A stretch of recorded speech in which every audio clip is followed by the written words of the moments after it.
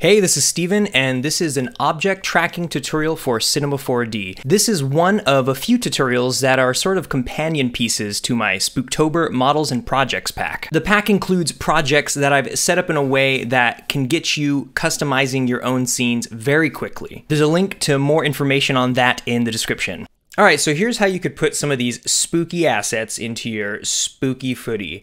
Motion tracking is pretty straightforward. I just want to kind of run through the principles here. I'm not going to go too in depth. There are definitely some more in depth and really useful tutorials out there if you just search Cinema 4D motion tracking and object tracking. But here's the gist of it. You want to go up here towards motion tracker and you're going to click on motion tracker and that'll give you this and uh, it'll come with this solved camera in here. And if you click on motion tracker, Inside the footage tab, you'll see this little section where it says footage, and it'll give you the option to uh, import your own footage. You can use a variety of different formats, but what Cinema 4D tends to like is image sequences. So if you can export an image sequence version of your clip, that would be a lot smoother. So that's what I did here is I imported it, and after I imported it, I went to 2D tracking, and over here in manual tracking is where you'll start inserting all of your track points. So all I did here was, see, all this was empty. This box had nothing in it. All these user 00 all the way through user 10, these are all track points, but it was empty before this. So what I did was I came over here and you can see, if I just click out of this so you can kind of see the footage as it was, my friend Cameron has all these track points that we put on his face. Now, Motion Tracker does best with a minimum of seven, I believe. I try to get anywhere between eight and 10 at least. So what do we have here? We have two, four, six, eight, 10, you know, 13 or 14 trackers. That's going to be a good, you know, just do like 15 or so. And that would be, you'd, you'd really get solid. What I did was clicking on the 2D tracking and going to manual tracking, you can hold control and click in certain places. So just as an example right now, I'm going to click on the corner of his ear, holding control. I'm going to click on the corner of his ear and it adds a tracker. Now you'll see it's going to put at the bottom of my list this new one, user number 11. So I'm just going to delete that. And I put all of these trackers here. So that's, so zero is this one, zero one is this one, zero. And what you do when you place them, I'll show you on tracker number 10 because I haven't gotten to that one yet. This one's right here on the left side of his mouth, his left, our right. So if you go to the very first frame and you have it highlighted and you click on this track point and you click manual track, Cinema 4D is going to process this footage and it's going to do its best job at tracking it for you. So what you have to do is you can use F and G to go back and forward a frame. F is back and G is forward and you could scrub through the footage to make sure it sticks. Now you can see already on the first frame it hops over here because all these track points look very similar. I should have used different colors or shapes or something. What we could do is just drag it over. And the more you kind of force these points, the more it'll kind of paint its own picture and uh, track do a better track itself. So let's keep scrubbing. Um,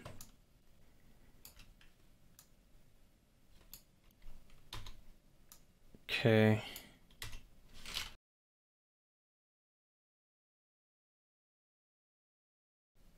Now, when it starts to get to some of this really blurred out footage, it's up to you to sort of eyeball it.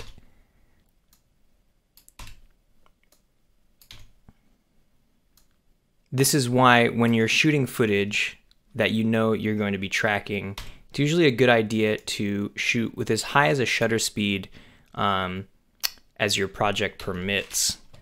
This way, you're doing less guesstimating and the automated tracking uh, can do its job a little better.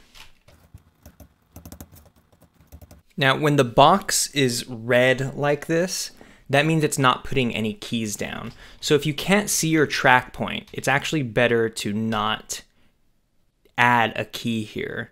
You want to leave it blank. So we'll just kind of move along and see if there's a bit, and there isn't any more. So we, we'll just leave it there. It'll stay red the rest of the time. And so you do that for all of your trackers, as many as you can, and that'll get you a better track. So I went through and tracked all of these points. Uh, if I select all of these and we kind of scrub this timeline, you can see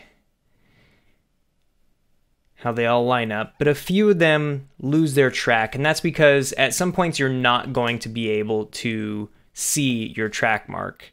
Um, so you either don't put it there or you meticulously figure out a way to sort of estimate where it would be. And that's why you want a lot more track marks.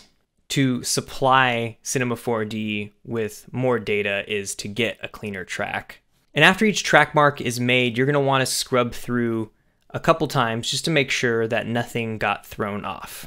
So we're looking good here. And now we're on to our next step, which is to go over here to Motion Tracker, add an object tracker. And in Object Tracker, we want to put our track points into the assigned tracks. So in Motion Tracker, now we can select all of these, all of our track points, go back to Object Tracker, and click Assign Selected. So here are all our track points. Then you go over to Reconstruction and hit Run 3D Solver. Cinema 4D will do its thing. And now we should have a solve. So what you could do is create a new null, put it inside your object tracker, right click on your null, go to character tags, constraint, and then down here, you want to go position scale rotation. You want to click that. Now in position scale rotation, in target, we're going to want to put our trackers. So user features, these are our trackers, okay? So position scale rotation, target, let's put our trackers in there.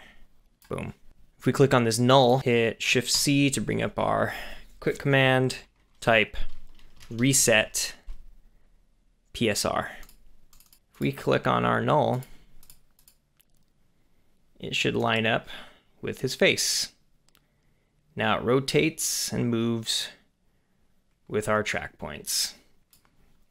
And what you could do for that is put anything you want to move in that space in this null. So for example, we could put a cube. Let's put the cube in the null. Click on the cube. Let's do reset PSR again. Now that cube is over there. And uh, let's scale it up. Okay, rotate. Kind of line it up to see where his head would be. All right, how does that look? Maybe a little more like this. Great.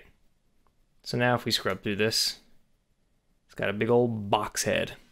And you know, you could fine tune that. It looks like it might need to be moved around like right there or so. Let's see how that plays. All right, so looks pretty good. And with that, you could put a pumpkin on his head, or a cauldron on his head, or a chainsaw on his head. You could put a coffin on his hand and a chainsaw on his head. Whatever you do, be sure to send me what you make. You can either DM me or send me an email. You can find my contact information on my website.